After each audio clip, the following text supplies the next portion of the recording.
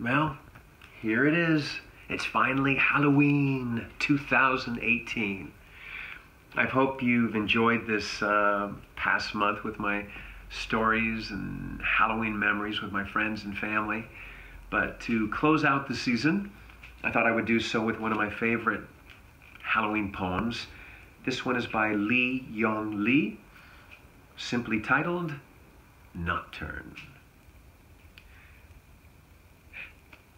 That scraping of iron on iron when the wind rises, what is it?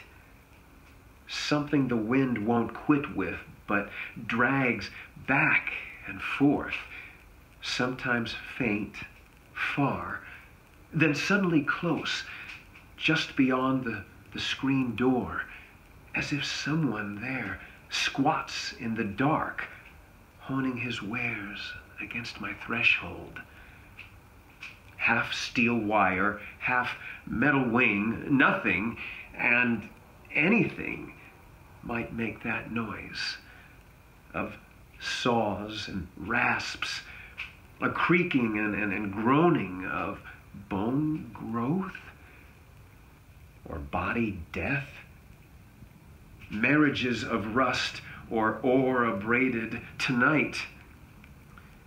Tonight something bows that should not bend.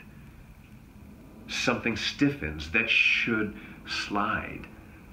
Something loose and not right rakes or forges itself all night.